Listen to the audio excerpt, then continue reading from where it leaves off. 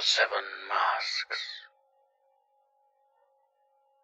In any country where there are still untamed woods, go to them while clearly thinking. The holder of the Seven Masks.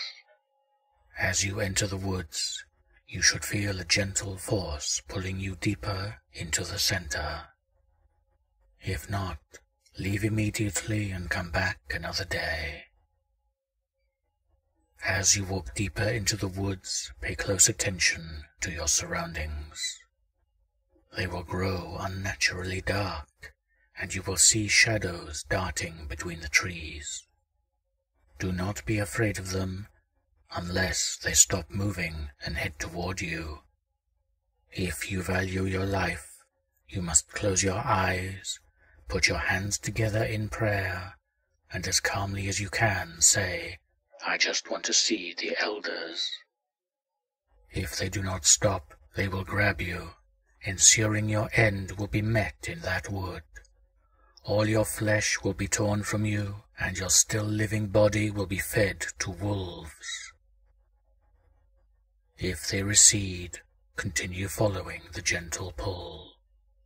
Eventually, when the forest has become so dark you can no longer determine if there is a canopy or simply night sky, you will see a campfire.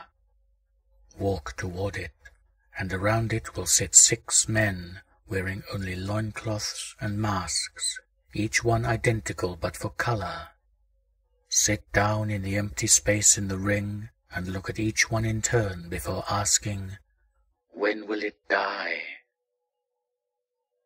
They will each turn toward you one at a time, and as you meet each one's gaze, you will see horrible visions of how the world could end.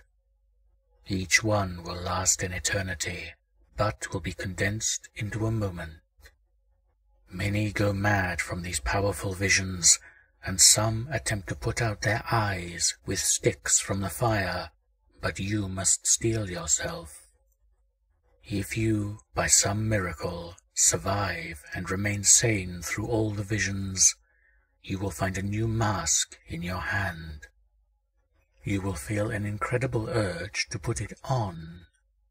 You must do so, because if you disgrace these elders, you will be cursed to ritual sacrifice. Your soul will be split into seven parts and sent into seven separate hells of suffering. When you put on the new mask, you will see the true end of the world. This vision will be the most powerful, and no matter how resilient your mind, you will break and lose all consciousness. When you awake, the fire will be dying, and the elders will be gone. All that remain are the seven masks. Pick them up and close your eyes. You will appear outside the wood, and you will see yourself at the beginning of your journey into the woods.